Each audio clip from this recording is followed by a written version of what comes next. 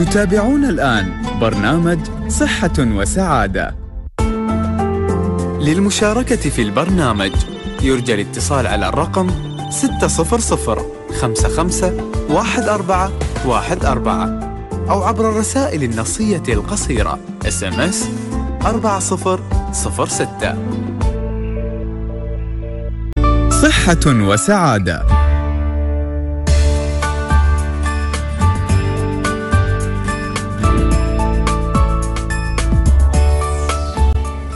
بسم الله الرحمن الرحيم والصلاة والسلام على أشرف المرسلين سيدنا محمد وعلى آله وصحبه أجمعين اللهم اشرح لي صدري ويسر لي أمري واحلل عقدة من لساني يفقه قولي السلام عليكم ورحمة الله وبركاته أعزائي المستمعين وصبحكم الله بالخير وإن شاء الله يكون هذا اليوم يوم مليء بالإنجازات مليء بالإيجابية ومليء بالتفاؤل نحييكم في برنامجكم الإذاعي صحة وسعادة والذي تقدمه لكم هيئة الصحة بدبي بالتعاون مع مؤسسة دبي للإعلام وعبر إذاعتكم المميزة دائما إذاعة نور دبي وبالمشاركة مع مستشفى الزهراء ليكون نافذة مفتوحة على مؤسسات المجتمع وساحة تفاعل ما بين جمهور المتعاملين مع طموحات الهيئة وتطلعاتها نطرح في هذا البرنامج مختلف المواضيع الصحية والطبية. فهذه أطيب التحيات مني محدثكم محمود يوسف العلي ومن الإخراج معنا الأستاذ أيمن سرحيل وتحيات طاقم الإعداد في هيئة الصحة بدبي. عموما مع إشراقة هذا الصباح دائما ما عودناكم الفقرة الأولى ناخذكم مع مجموعة من الأخبار اللي وردت في وكالات الأنباء المحلية والعالمية. أول خبر ما نتكلم عنه اليوم حمدان بن محمد يطلق مشروع دبي وجهة عالمية للسياحة العلاجية. أطلق سمو الشيخ حمدان بن محمد بن راشد آل مكتوم ولي عهد دبي في احتفال كبير أقيم في مركز دبي التجاري العالمي صباح أمس مشروع دبي وجهة عالمية للسياحة العلاجية الذي عدته هيئة الصحة بدبي في إطار رؤية صاحب السمو الشيخ محمد بن راشد آل مكتوم. نائب رئيس الدولة رئيس مجلس الوزراء حاكم دبي رعاه الله وحرصه على تطوير قطاع السياحة وتنميته لتصبح تصبح مدينة دبي بسياحتها العلاجية والعائلية والتسويقية الوجهة المثالية القادرة على استقطاب نحو نصف مليون سائح مع حلول موعد إكسبو 2020 لا سيما سياح العلاج في المشافي والمراكز الطبية المتوفرة في دبي على مستوى القطاعين العام والخاص. وأيضا يعني آه، قدرة منشآتنا الصحية آه، والعلاجية في دولة الإمارات آه، عموما لديها قدرة عالية في المنافسة العالمية في هذا المجال. طبعا ختم سموه جواز السفر النموذج ووقعه معلنا بدء استقبال السياح في دبي من أنحاء العالم. وأكد سمو الشيخ حمدان بن محمد بن راشد ال مكتوم ولي عهد دبي رئيس المجلس التنفيذي أن المنشآت الصحية والعلاجية في دبي قادرة على المنافسة العالمية في هذا المجال. وقال سموه أمس عبر تويتر أطلقنا أمس مشروع دبي وجهة عالمية للسياحة العلاجية الذي أعدته هيئة الصحة في دبي إذ يأتي المشروع. في إطار رؤية صاحب السمو الشيخ محمد بن راشد ال مكتوم نائب رئيس الدولة رئيس مجلس وزراء حاكم دبي لتطوير قطاع السياحة العلاجية وتنميتها لتصبح دبي الوجهة المثالية للسياحة العلاجية والعائلية. مؤكدا سموه سنتابع المشروع خطوة بخطوة للوصول به إلى المبتغى المنشود. أيضا آه، في كلمة ألقاها معالي حميد القطامي رئيس مجلس الإدارة المدير العام لهيئة الصحة بدبي آه، رحب فيها برعاية سمو ولي العهد للفعالية التي وصفها بأنها منعطف تاريخي بالنسبة للهيئة التي أعدت المشروع الطموح لتحقيق الريادة في قطاع السياحة العلاجية من خلال برنامج تجربة دبي الصحية DXH التي توفر باقة من التخصصات الطبية ذات المعايير العالمية على أن يتحقق تحقق ذلك عبر ترسيخ التعاون والتنسيق لبناء آه، والتنسيق أيضا لبناء علاقة استراتيجية بين الهيئة والشركاء الاستراتيجيين في دبي في مقدمتهم طيران الإمارات دائرة السياحة والتسويق التجاري الاداره العامة للإقامة وشؤون الأجانب وعدد من مؤسسات القطاع الخاص من ذوي العلاقة والاختصاص.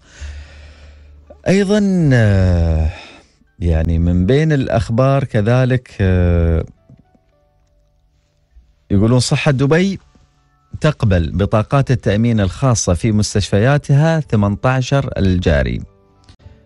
يعني تبدأ هيئة الصحة في دبي قبول بطاقات التأمين الصحي الصادرة عن شركات القطاع الخاص في مستشفياتها اعتبارا من 18 إبريل الجاري حيث ستقوم آه، حيث ستكون البداية في مستشفى راشد على أن تدخل باقي المستشفيات والمراكز الصحية وفقا لجدول زمني ينتهي قبل أواخر العام الجاري. وقال الدكتور حيدر اليوسف مدير إدارة التمويل الصحي في هيئة الصحة بدبي لصحيفة البيان سيكون بمقدور المرضى استخدام بطاقات التأمين الصحي الخاصة بهم في مستشفيات الهيئة لتلقي الخدمات التشخيصية والعلاجية. وأشار إلى أن قبول بطاقات التأمين الصحي سيتم على مراحل تبدأ اولا من مستشفى راشد. بما في ذلك قسم الطوارئ اعتبارا من الثامن عشر من شهر من الشهر الجاري على أن يتم بعدها الانتقال إلى مستشفى لطيفة الشهر المقبل ثم يمتد التطبيق إلى مستشفى دبي وحتى والمراكز الصحية التابعة للهيئة قبل نهاية العام الجاري. هذا الخبر بنركز عليه نحن بشكل أكبر آه، مو في الحلقة اليوم ولكن في الحلقات القادمة. أيضا غدا بيكون عندنا نفتح ملف السياحة العلاجية بنحاول آه، من خلال آه، حلقة الملف الطبي اللي تعودتوا عليها كل يوم ثلاثاء نحط موضوع السياحة العلاجية تحت آه، السبوت ولا تحت الأنظار. طيب على طاري السياحة العلاجية يعني هني أتذكر أن في دول تصدقون أنها قامت وصارت من المراكز الخاصة في السياحة العلاجية من وراء مستشفى مستشفى واحد في هذه الدولة. قدر آه، قدروا يبنون عليه يعني آه، منظومة للسياحة العلاجية وصارت هذه مقصد لسواح العالم أنه يتوجهون لهذه الدولة للعلاج. تخيلوا من وراء مستشفى. فبالك أنتم في دبي آه، عندكم يعني منظومة صحية على أعلى الدرجات. عموما من بين الأخبار اللي دائما نزودكم فيها ما بين آه، فترة وفترة يقول الأرق يرتبط بوقوع خلل في بنية المخ. اكتشف باحثون في المستشفى الشعبي الثاني في في مقاطعة كوانغ تونغ الصينية أن أشخاصا يعانون من الأرق يتصفون بوقوع خلل في توزيع المادة البيضاء في أمخاخهم. أمخاخهم يعني جمع مخ. انزين ويقول العلماء إن الأرق بغض النظر عن انتشاره الواسع بقيت العوامل التي يعود إليها غير معروفة بشكل دقيق. فعادة ما يظهر الأرق آه، لدى الأشخاص الذين يتعرضون للإرهاق نهارا والانحطاط في المزاج واختلال في الإدراك. وقرر العلماء المختصون بالجهاز العصبي إجراء دراسة حول علاقة الخلل في توزع آه، مادة المخ البيضاء بالمعاناة من الأرق. ومدى خطورة هذا الخلل؟ فالمادة البيضاء المذكورة عبارة عن حزم من الأمهدة وهي السيقان الطويلة للخلايا العصبية التي آه، توصل ما بين آه، الأجزاء المختلفة من المخ. يعني من خلال هذا الاكتشاف ممكن يحلون وايد مشاكل. أه تحبون السوشي؟ اللي يحب السوشي بقول له خبر زين. يقول عشر حبات سوشي مرتين في الأسبوع تحمي القلب.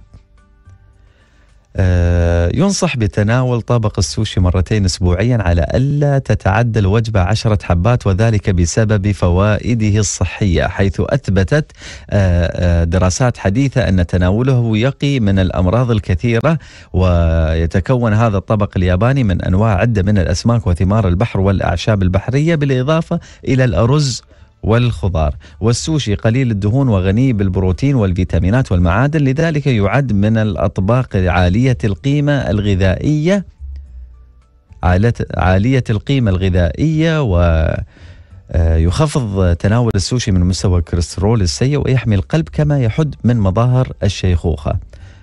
من شي ما تطلع التجاعيد في وجوه اليابانيين؟ المهم أثبتت دراسة حديثة من جامعة آه، بيتسبورغ الأمريكية أن احتواء السوشي على المأكولات البحرية يزيد من نسبة الأوميغا 3 فيها الذي بدوره يقلل من تصلب الشرايين. كما أفادت الدراسة بأن اليابانيين أقل عرضة للإصابة بأمراض القلب وذلك يعود إلى تناولهم ما يقارب 100 جرام من الأسماك يوميا مقارنة بالأمريكيين الذين يتناولون ما يعادل 13 جراما فقط. من جانب آخر كشفت دراسة من جامعة أكسفورد البريطانية أن الأوميغا 3 خصوصا في سمك السالمون يحسن من نوعية النوم عند الأطفال ويساعدهم على التغلب على النوم المتقطع. وبهذا الخبر نحن ناخذ فاصل عشان أيمن ما يزعل وما نرجع لكم إن شاء الله في تغطية متواصلة للعديد من المواضيع في حلقتنا اليوم. فاصل وما نرجع لكم.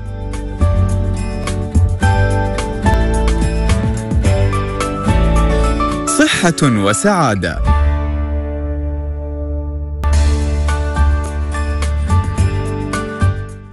أسعد الله أوقاتكم مرة أخرى مستمعينا الكرام وأهلا وسهلا بكم في الجزء الثاني من برنامجكم صحة وسعادة والذي تقدمه لكم هيئة الصحة بدبي بالتعاون مع مؤسسة دبي للإعلام وعبر إذاعتكم المتميزة دائما إذاعة نور دبي. آه، يعني مستمعينا نعيش نحن الآن آه، أجواء معرض دبي للإنجازات الحكومية.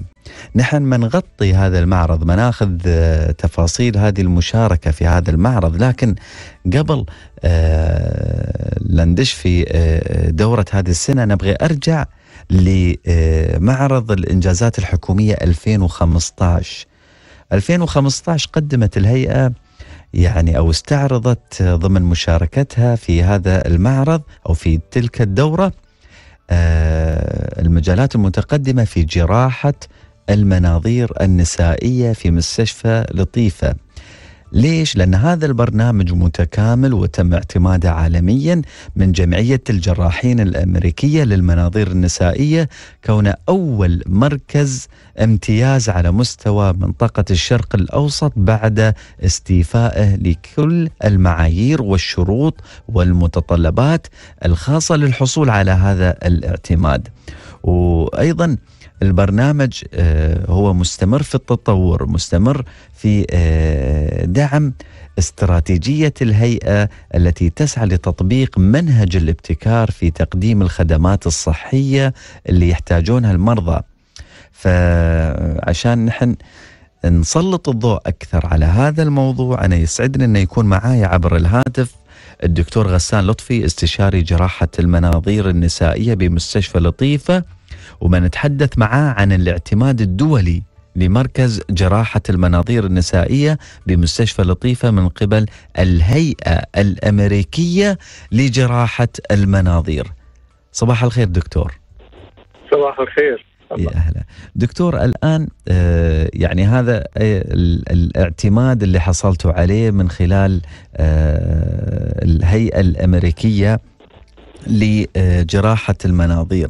يعني هذه آه، مختلفة آه، دكتور عن الاعتماد اللي حصلناه في 2014 آه لا هذا هو الاعتماد اللي حصلنا عليه في أكتوبر آه، سنة 2014 مه. والذي يعتمد نفس تقنية آه الاعتمادات الدولية آه القائمة على استيفاء مثل ما تفضلت حضرتك شروط معينة آه، تحددها كل هيئة آه، تعتبر مرجعية عالمية آه، مؤلفة من اختصاصيين ومن مؤسسات طبية لها الصفة إنها تراجع و تدقق في الشروط المطلوبة لإعطاء هذا هذه لنقول اكريديتيشن هذه مرجعيه هذه التاهل لمستشفى أو لآخر. جميل. ويتم يتم تجديده يعني بين فترة وفترة دكتور. كل ثلاث كل ثلاث جميل. طيب دكتور قبل لا ندخل في تفاصيل هذا الحوار خلنا نعرف المستمعين بشكل عام عن المركز والخدمات اللي يقدمها للمرضى. المركز هو بدأنا في العمل فيه في 2012 آه، بتأهيله آه، بالموارد البشرية والموارد التقنية والهيكل العلمي الذي آه، أصبح يؤهله في 2014 للتأهيل العالمي اللي حصلنا عليه. المركز يركز بشكل أساسي على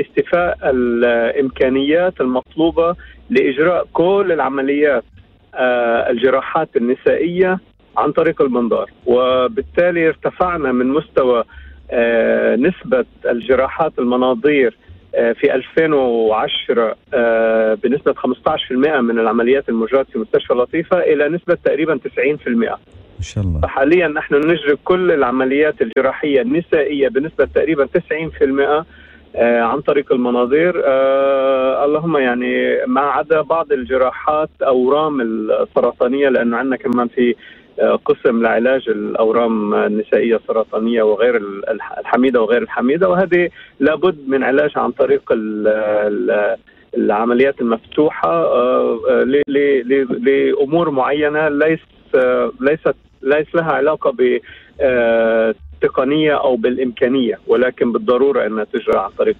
فتح البطن. يعني دكتور أنا أفهم أفهم من كلامك إن حتى العمليات المعقدة أنت تقول 90% من العمليات يعني حتى العمليات المعقدة أه تسوونها بالمناظير وابغى أعرف شو نسبة النجاح. صحيح نحن بنساوي تقريبا هلأ الحين آه الحمد لله كل العمليات الأورام الحميدة وجزء من الأورام الأورام آه السرطانية غير الحميدة عن طريق المناظير. وباستقطاب آه، آه، فعاليات جراحية معترف فيها عالميا أصبح بإمكان مستشفى لطيفة ودبي وهيئة الصحة أن آه، تدعي إمكانية إجراء عمليات على مستوى التقني التي تجرى في مراكز عالمية في أوروبا وفي أمريكا. النجاح نتاعها آه، من ضمن الشروط المتبعة للتأهيل العالمي اللي نحن حصلنا عليه فبالتالي إحنا في عندنا في عندنا يعني database يعني في عندنا محصولة لكل العمليات بحيث إنها تكشف عن آه، نجاح العملية من خلال النتيجة المباشرة واللاحقة يعني اعاده الدخول إلى المستشفى آه، مضاعفات العملية اللي ممكن أنها تحصل في خلال الأسبوع الأول أو في خلال الشهر الأول. هذا كله مسجل ومدون ويتم مراجعته. والحمد لله نحن ممكن نقول بأنه نحن تحت البنش مارك يعني تحت المستوى اللي متعارف عليه إنه هو المستوى المقبول عالميا للإدعاء بإنه نحن عملياتنا والنتائج بتاعتها ناجحة. جميل. دكتور يعني الفوائد الإيجابية لاستخدام تقنية جراحة المناظير مقارنة بالطرق التقليدية آه، أو إذا إن صح التعبير على أنها طرق تقليدية. هي. آه، جراحة المناظير لها فائدتين أساسيتين.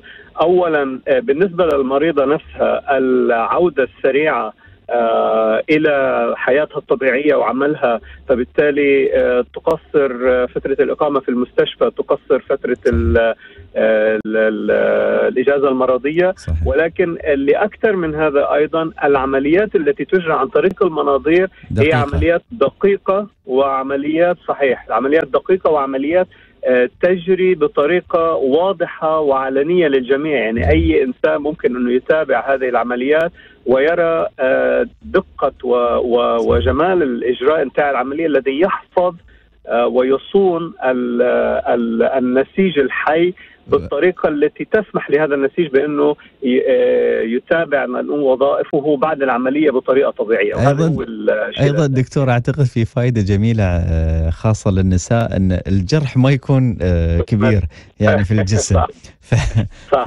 هذه من الأشياء اللي, اللي تهمهم أكثر يعني أتصور.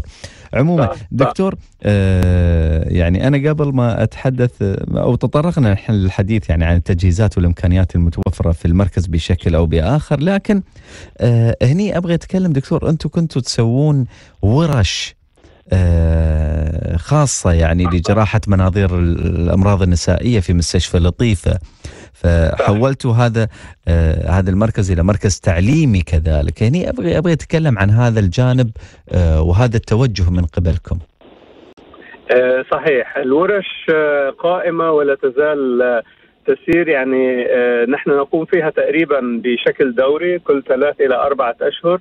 والهدف منها تدريب أطباء المستشفى وأطباء الهيئة بشكل عام. وتدريجيا إن شاء الله آه، بحي... إن تكون آه، مسرح للتدريب العام للأطباء في المجتمع الطبي في دبي في دبي لإعطائهم الإمكانيات التقنية لممارسة الحد الأدنى والمقبول من الناحية من ناحية الجودة وال آه، الكفاءة إنه يجروا هذه العمليات نفسها في مستشفياتهم الخاصة أو العامة. آه، طبعا آه، هذه الورش تقوم يا إما بفعاليات داخلية يعني من قبلنا نحن في المستشفى اللطيفة أو حتى وآخره كان يعني من قبل شهر ونص باستضافه كمان اختصاصيين في مجالات مثل منظار الرحم أو أمور ثانية اللي آه، ندعوهم لأنه يقيموا فيها في مستشفى لطيف فترة معينة وهذه كمان آه، تزيد من الكفاءات الموجوده عندنا في المستشفى وفي الهيئة بشكل عام. جميل، دكتور أنا بس آه، آخر سؤال قبل أطلع الفاصل يعني تم إطلاق يعني مشروع السياحة العلاجية بالأمس من قبل سمو الشيخ حمدان بن محمد ولي العهد. آه، رعاه الله. وأيضا اليوم كنت أقرأ خبر في بداية البرنامج عن أن صحه دبي بتبتدي آه، قبول بطاقات التأمين الخاصة في مستشفياتها من 18 رجالي. بتبتدي في مستشفى راشد وبتسحب على مستشفى لطيفة وباقي المستشفيات التابعة للهيئة ومراكزها الصحية.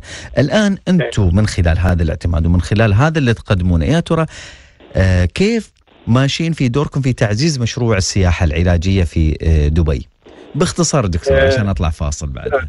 آه، نحن الحين بدأنا نستقطب مرضى من جميع أنحاء العالم بشكل خاص من دول الخليج ولكن أيضا من الدول الأخرى وهذا يعني تدريجيا بأنه مع استقطاب القطاع الخاص أو التأمين الخاص يعني بأنه المستشفى سوف يتحمل عبء أكثر في رعاية جزء آه، من المرضى آه، الذين يتطلبون عمليات مش عبء دكتور. تحدي تحدي جديد إن شاء الله. هو مش عبء إن شاء الله. هذا تحدي أيه. مضبوط صحيح. وبالتالي يعني نحن نفتح بهذا المجال إمكانيات أكبر صحيح. للمستشفى وللهيئة. لجعله مستشفى ومركز على المستوى الدول الدولي بالمعنى الحقيقي للكلمة بحيث إنه يكون مركز ليس فقط تدريبي وتعليمي ولكن أيضا استقطابي للمرضى الذين يتطلبون هذا النوع من العمليات المعقدة إن شاء الله.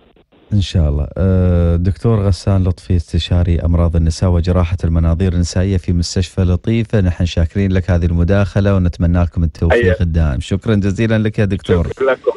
شكرا لكم. شكرا. شكرا. اذا مستمعينا مثل ما أنتم آه، سمعتوا هذه بعض الإنجازات التي تتحقق في هيئة الصحة وكان هذا نموذج يعني من النماذج اللي اللي نفخر بها من خلال آه، هذا المركز المتخصص في آه، مستشفى لطيفة والخاص بجراحة المناظير النسائية. عموما بعد الفاصل عندنا وقفات جميلة ومنتحدث عن معرض الإنجازات وعن مشاركة الهيئة في هذا المعرض فابقوا معنا. صحة وسعادة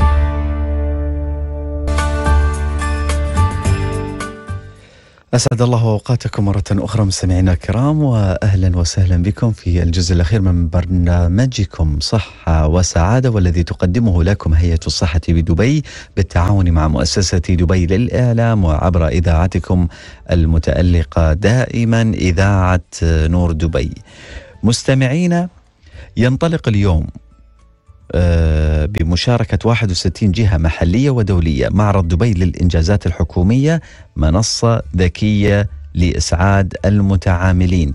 آه، وذلك تحت رعاية كريمة من صاحب السمو الشيخ محمد بن راشد آل مكتوم نائب رئيس الدولة رئيس مجلس الوزراء حاكم دبي رعاه الله وذلك في معرض دبي الدولي آه، للإنجازات الحكومية 2016 في مركز دبي الدولي للمؤتمرات والمعارض. يستمر هذا المعرض آه، ثلاثة أيام تحت شعار حكومات محلية إنجازات عالمية. مثل ما ذكرنا في البداية أن بمشاركة 61 جهة حكومية بينها 32 جهة من حكومة دبي وخمسة جهات اتحادية و24 جهة دولية. تستعرض الجهات الحكومية في دبي خدماتها الذكية التي تقدمها للتوجه نحو التطبيق الفعلي والأمثل لمبادرة صاحب سمو الشيخ محمد براشد آل مكتوم بالتحول إلى حكومة ذكية وتوفير أفضل الخدمات الحكومية على مدار الساعة بإجراءات سهلة ومبسطة وبكفاءة عالية تلبي احتياجات وتوقعات المتعاملين بما يضمن تحقيق جودة عالية لحياة المواطنين مواطني دولة الإمارات والمقيمين على هذه الأرض الطيبة. طبعا هيئة الصحة ليست بمعزل عن هذه التوجهات وإنما أيضا غدت اليوم آه، إحدى الجهات الرائدة في هذا المجال بما تحويه من كفاءات آه، بشرية قادرة على الابتكار والإبداع وخاصة المجال الصحي والطبي أصلا مجال يعني اللي يشتغل في هذا المجال هو يفترض إنه يكون نابغة فما بالكم يعني بنوابغ آه، يعملون في هذه الهيئة. عموما أنا بتكلم عن مشاركة الهيئة في هذا المعرض لكن مو على لساني لا من خلال ضيفنا في الاستوديو الأستاذ غانم لوتا مدير إدارة التسويق والاتصال المؤسسي في هيئة الصحة بدبي حياك الله آه، أبو عبد الله كيف حالك؟ يحييك وسهلا يا ابو اليوم اليوم ما شفناك في المكتب الظاهر مربوش هناك في المعرض فعشان تي قلنا ما نتصل بك وما ناخذ فكرة عامة عن مشاركة الهيئة في هذا المعرض. الله يطول لي عمرك ويسلمك. أول شيء أشكرك على إتاحة هيئة ان هالفرصه نستعرض إنجازات هيئة الصحة في دبي. وكما هو معروف آه، حكومات محلية وإنجازات عالمية. هيئة الصحة طبقت هذا الشعار كل معناه آه، الحكومات المحلية هي اللي تمثل في هيئة صحة دبي. طلعنا في آه، في في هذا أو في هذا المشاركة. الاحتفال نقدر نقول أو المشاركة في ثلاثة مبادرات اللي هي ركن السعادة والسياحة العلاجية كذلك إنجازات عالمية. بنتكلم بشكل مختصر وياك عن موضوع ركن السعادة، السعادة طبعا تطبيقات ذكية قامت بإنجازها وتطبيقها هيئة صحة دبي. تطبيق طفلي الذي يقدم الخدمات للسيدات الحوامل. كذلك تطبيق حياتي خاص بمرضى السكري الذي يوفر لهم كافة أنواع المعلومات اللي تحافظ على صحتهم وتعطيهم آه، كافة معلومات اللي كذلك تعطيهم إنهم يتعايشون ويا هذا المرض. عندنا بعد آه، كذلك آه، صحتي اللي هو أو تطبيق صحتي يوفر للمرضى إمكانية الاطلاع على ملفاتهم الصحية وحجز المواعيد والاطلاع على نتائج التحاليل هذا من ناحية ركن السعادة. إذا قلنا عن عن ركن السياحة العلاجية الحمد لله تم إطلاقه يوم أمس من الشيخ حمدان بن محمد ولي عهد دبي.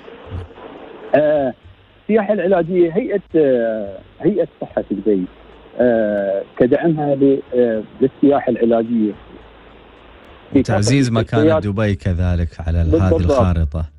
بالضبط. والمستشفيات المستشفيات الخاصة والمستشفيات الحكومية لما فيها من كوادر طبية وأجهزة متقدمة.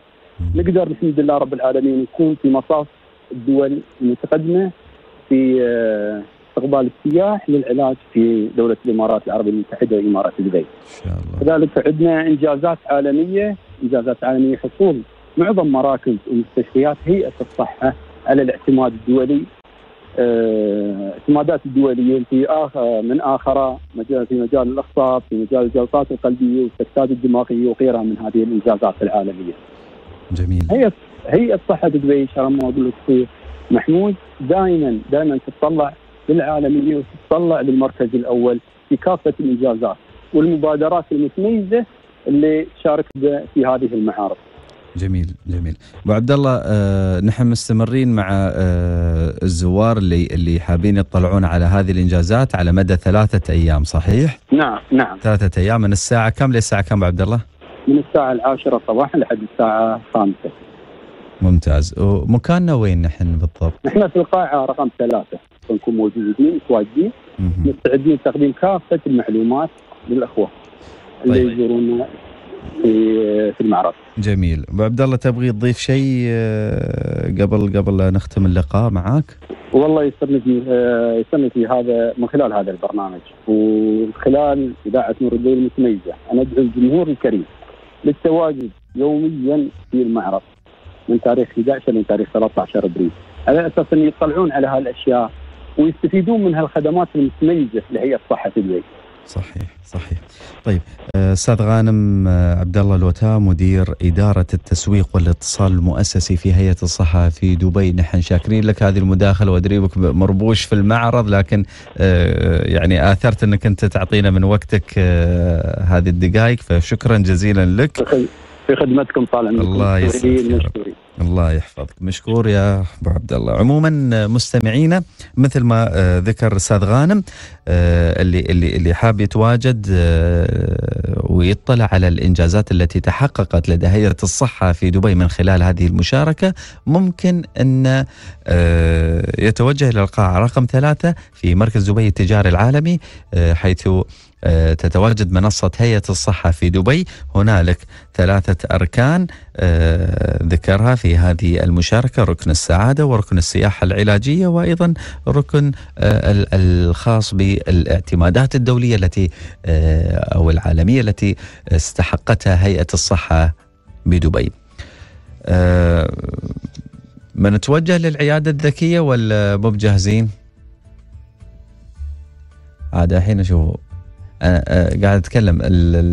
مع العيادة الذكية في في في عندنا مشاركة؟ ممتاز. آه، طيب. نحن أيضا آه، مثل ما أنتم متعودين آه، مستمعينا أن كل يوم اثنين وخميس من كل أسبوع تتواصل هيئة الصحة بدبي من خلال نخبة من الأطباء والمتخصصين عبر عيادتها الذكية لمناقشة العديد من المواضيع اللي يتم اختيارها وفقا لأهمية وأولويات هذه المواضيع بالنسبة لخطط الهيئة وبرامجها التوعوية المستمرة على مدار العام. اليوم العيادة الذكية بما أن نحن كنا نتكلم عن آه، معرض الإنجازات العيادة توجهت إلى هذا المعرض. آه، اليوم يتكلمون عن آه، صحة الفم والأسنان صح الكلام هذا ولا ولا لا دكتورة؟ ألو؟ أه، تثقيفي أه، وتوعية لمرض الباركنسون. حول حول شلل الرعاش. الشلل الرعاشي أو ال Parkinson disease دكتورة ياسمين كمال أخصائي أول طب الأعصاب بمستشفى راشد. حياك الله معنا وخبرينا اليوم عن العيادة بشكل مبسط. أه، شو هو أه، الشلل الرعاش؟ الشلل الرعاشي أو الباركنسون ديزيز هو مرض غير معروف سببه حتى الآن ولكن في أبحاث أنه قد يكون سببه وراثي أو سببه بيئي. آه، تعرض لأشياء معينة في البيئة قد آه، قد تسببه. آه، وهو مرض مزمن. أعراضه في أعراض حركية وأعراض غير حركية. مثلا دكتور أول شيء قبل قبل أتكلم عن الأعراض أسباب المرض والفئة العمرية اللي اللي ممكن يصاب يصاب بها الأشخاص بهذا المرض؟ أسباب المرض زي ما ذكرت قلتي مش معروفة لنا الحين. غير معروفة ممكن تبقى أسباب وراثية. وممكن أسباب بيئية زي التعرض لمواد الحديدية المواد الرصاص مواد المنجنيز كل دي آه ممكن تبقى سبب بس لسه الأبحاث وأي عمر يعني دكتور جارية لاثباته أي عمر ممكن يصاب فيه المريض؟ الأبحاث أثبتت إنه من 2 ل 4% آه، المرض ممكن يصيب آه، فوق ال 60 سنه ومن 1 ل 2% أصغر من ال 60 سنة. فعادة لما بيجي بيبقى فوق ال 60 سنة بس طبعا ممكن حدوثه أقل من هذا السن. طيب آه، أعراض الدكتورة؟ الأعراض في أعراض حركية وأعراض غير حركية. الأعراض الحركية اللي هي آه، رعشات ممكن تيجي في الايدين وفي الرجلين ممكن آه، صلابة العضلات بطء في الحركة آه، وممكن أحيانا كمان عدم الاتزان. كل دي أعراض حركية ممكن تحصل مع الباركنسون. وقد تسبق الأعراض دي أعراض غير حركية. بمعنى ممكن يكون المريض لمدة أعوام في أعراض زي الاكتئاب زي اضطرابات النوم اضطرابات في البول اضطرابات آه، الضغط انخفاض الضغط أثناء القيام مثلا أو شيء. يعني كل دي حاجات ممكن تبقى موجودة وبقى لها سنين. والمريض مش واخد باله إن هي آه، آه، أعراض ممكن تبقى بتاعة باركنسون طيب دكتور هني أنا بغي يعني أسأل هل هذا المرض منتشر عالميا؟ نسب الإصابة بهذا المرض هل هي نسب عالية ولا نسب قليلة؟ آه هو ال ال ال الأرقام اللي موجودة الولايات المتحدة آه فيها تقريبا مليون شخص عنده Parkinson disease فهو تقريبا آه يعني نسبته آه مليون في الولايات المتحدة دلوقتي حاليا. طيب هو ليش سموه آه باركن باركنسون؟ هو الشخص اللي اكتشف المرض كان Sir Parkinson. هو آه تسمى على اسمه. جميل. آه طيب دكتورة يعني الآن تحدثنا آه عن أن الأسباب غير معروفة. أنت ذكرت أن هنالك أسباب آه جينية قد تكون آه ممكن الواحد يصاب فيها؟ مظبوط. ممكن اسبابه جينيتكس أو وراثية أو أسباب تعرض لمواد معينة في البيئة زي المبيدات الحشرية المنجنيز الرصاص. كل دي للعمال المصانع للفلاحين اللي بيفلحوا الأرض بيستعملوا مبيدات كتيرة. كل دي حاجات ممكن تبقى عوامل خطورة تسبب حاجة زي الباركنسون. يعني هي السموم البيئية المحيطة بال بالأشخاص اللي ممكن تؤثر بشكل أو بآخر على ال ال على هذا المرض. طيب دكتورة بالضبط. الآن إذا أنا مش عارف السبب آه، من وين يجي هذا المرض كيف أنا أقدر أقي نفسي من هذا المرض؟ آه، نمط الحياة السليم بمعنى الأكل الصحي أكل الخضروات الأسماك اللي فيها الأوميجا 3 آه، الرياضة بصفة عامة آه، إن الواحد يبقى منضبط في حياته عامة. دي كلها حاجات تخلي الواحد تقي من كل الأمراض من ضمنهم ال Parkinson disease طبعا. بس الرياضة وباختلاف أنواع الرياضة يعني الرياضة اليوجا ال stretching آه، كل دي حاجات تخلي الواحد تقلل نسبة إنه ممكن يحصل له الباركنسون إذا التغذية وايد مهمة دكتورة في هذا المجال صحيح؟ آه، التغذية السليمة آه، مهمة طبعا طيب الآن آه، في علاجات جراحية لهذا المرض دكتورة؟ في علاج بالحبوب وفي علاج بال أجهزة ممكن تتحط في الأمعاء أجهزة تحت الجلد وفي جراحات كمان. بس كل مريض يختلف. يعني الحالات الجراحية دي محتاجها آه، آه، الطبيب آه، يقرر إنه محتاجة ولا لأ. مش كل مريض عنده باركنسون بيعمل عملية لأ. طيب دكتور. دي حالات مخصوصة. انزين هني أنا أبغي بس أذكر للمستمعين إن هذا المرض في مشاهير أصيبوا به، حد منهم ما يزال على قيد الحياة وحد منهم يعني انتقل إلى رحمة الله، فأنا أبغي أذكر بعض الأسامي. اللي الناس ممكن تعرفها آه، كان آه، محمد علي كلاي واحد مزبوط. من الأشخاص المصابين بهذا المرض أو آه مايكل جي فوكس ممثل في هوليوود يعني في آه المرض ممكن يصيب آه أي حد. المهم ياسر عرفات دكتورة كان مصاب بهذا المرض آه سعود الفيصل كذلك أيضا الروائي مظفر النواب كذلك كان عنده هذا المرض. فهو يعني ما بين ما بين حتى حتى أدولف هتلر دكتورة كان كان نعم. كان كان عنده هذا المرض كذلك. بالضبط. هو الواحد ممكن يعيش مع المرض سنين طويلة بأعراض بسيطة طالما هو نمط الحياة بتاعه سليم بياخد الأدوية منتظم بيحاول يعمل رياضة. كل ده بيخلي حدة وشدة المرض آه، بسيطة. كل واحد ممكن يعيش حياة سليمة بالمرض برضه. طيب بالنسبة لكبار السن دكتورة هل في في نصائح معينة اللي اللي, اللي عنده مثل هذا المرض شلل الرعاش؟ في نصائح معينة ممكن نوجهها لهم؟ اولا طبعا زي ما قلت لحضرتك الغذاء التغذية تبقى تغذية صحية الرياضة. الحاجة الثانية لازم يبقى حسب تقدم المرض. لو المرض متقدم مع المريض لازم يبقوا الأهل في البيت آه، واخدين بالهم إنه دايما ال ال الأرض ما فيهاش أي شيء يزحلق المريض. الحمام دايما ما فيهوش أي شيء خطر. يعني حتة الخطورة إنه آه، آه، الواحد يقي المريض من إنه يحصل له أي وقعات. وبالتالي نقي إنه يحصل أي إصابات منها. دي حاجة مهمة. الحاجة الثانية طبعا إنه العامل النفسي. لازم دايما الأهل يبقوا موجودين يحاولوا يخرجوا المريض يحاولوا يتصلوا بيه يتواصلوا معاه. العامل النفسي مهم جدا كمان آه، في مرض الباركنسون. طيب آه، دكتورة من بين الأشياء اللي اللي ممكن نحن آه، نذكرها عن هذا المرض انه يعني من من من الأمراض اللي اللي تستدعي حقيقة تضافر المجتمع المحيط بالمريض نفسه لإخراج هذا المريض آه، بصورة يقدر يتعايش فيها مع هذا المجتمع. افندم معلش تاني السؤال؟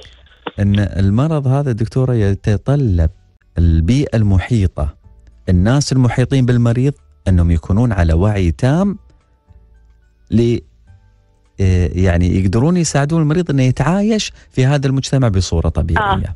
آه، لازم أهل المريض وأصدقائه كمان يبقى في توعية وإحنا في مستشفى راشد عاملين إن شاء الله يوم الاربع اللي جاي يوم تثقيفي وتوعية للمرضى والأسر المرضى آه، بحيث يبقى في عندهم فكرة عن المرض وكيف يتعاملوا مع المريض من الناحية العلاجية بجميع أشكالها إذا كانت تغذية إذا كانت آه، علاج طبيعي النفسية كل ده إن شاء الله إحنا عاملين يوم تثقيفي يوم الأربعاء الجاي في مستشفى راشد. وبندعو كل الأسر لحضور اليوم ده. جميل. حتى الأشخاص اللي يبغون يأخذون معلومات عامة عن هذا المرض ممكن يتواصلون مع معاكم عبر العيادة الذكية على حسابات الهيئة DHA underscore دبي من خلال الوسم العيادة الذكية وال hashtag smart clinic وأيضا عن طريق برنامج البريسكوب ممكن يتابعون العيادة على الهواء مباشرة من الساعة 11 إلين الساعة 1 بتكونون معاهم صح دكتورة؟ طيب مزبوط دكتورة في في في دقيقة بس عفوا دكتورة بس في دقيقة اشرحي لي يعني الإمكانيات اللي اللي تتواجد في مستشفى راشد والاشياء اللي أنتم ممكن تقدمونها في هذا المجال. في عيادة لل movement disorder أو الحركات اللا إرادية آه، دي آه، معمولة مرتين في الشهر المرضى الباركنسون وجميع مرضى الحركات اللا إرادية بصفة عامة. في أيضا تليفونيك كلينيك للمرضى اللي ما بيقدروش يجوا العيادة أهاليهم عايزين يتواصلوا عبر التليفون. في عندنا الخدمة دي. وطبعا عندنا خدمات مساعدة لل للمرضى زي العلاج الطبيعي العلاج النفسي. آه، ده متوفر عندنا برضو في المستشفى. جميل. دكتوره بغيتي تضيفين شيء؟ آه لا أنا بس بتمنى إنه آه نشوف الأسر موجودة إن شاء الله في اليوم التثقيفي يوم الأربعاء الجاي في مستشفى راشد إن شاء الله. إن شاء الله. ونحن بنحاول نكون معاكم كذلك من خلال آه هذه الفعالية. آه، دكتورة ياسمين كمال أخصائي أول طب الأعصاب بمستشفى راشد نحن شاكرين لك هذه المداخلة. شكرا متشكرة شكرا جزيلا. مع السلامة مع السلامة, مع السلامة. إذا آه، كانت دكتورة ياسمين آه، سوف تنتقل الآن إلى العيادة الذكية. بعد خمس دقائق تقريبا بتكون معاكم على العيادة الذكية اللي يبغى يعرف أكثر عن مرض الشلل الرعاش ولا مرض باركنسون.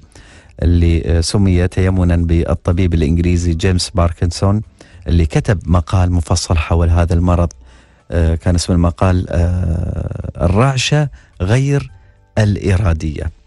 اللي يبغى يتعرف أكثر ممكن يتابعنا على حساباتنا في الهيئة. عموما وصلنا إلى ختام حلقتنا اليوم. على أمل نلقاكم إن شاء الله في الغد مع مواضيع جديدة. موضوعنا باكر إن شاء الله في الملف الطبي السياحة العلاجية. فحتى نلقاكم في الغد إن شاء الله. تقبلوا تحياتي. محدثكم محمود يوسف العلي. ومن الإخراج الأستاذ أيمن سرحيل. وفي التنسيق كانت معنا الأخت أشواق. مسعد وهذه تحيات فريق الإعداد. بقسم الإعلام بإدارة التسويق والاتصال المؤسسي وفي الختام نقول لكم دمتم بصحة وسعادة. صحة وسعادة بالتعاون مع هيئة الصحة بدبي.